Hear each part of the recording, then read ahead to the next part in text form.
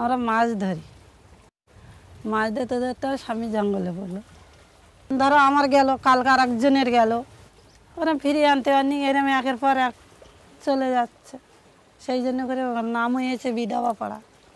এইখানে অনেক ছিল, সব এখানে সেখানে সব চলে গেছে।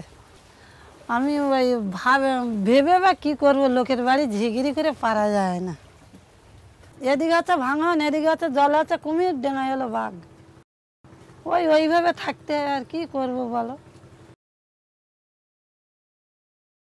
আমি আর মাছ ধরতে আমার ওই যে স্বামী জঙ্গলে আমার ওইটা মনে ওঠে যে কীভাবে নিয়ে গেছে। ওই মানে ওইরকম পড়ে আর এই হ্যাঁ বারবার ভাবতাম যে চোখ বন্ধ করলে পর মনে হবে কি যে ওই ঝাপ দেশে পড়তেছে, ওই নিয়ে যাচ্ছে। না যেমনি বসে থাকলে চেয়ে থাকলেও ওইটা মনে হতো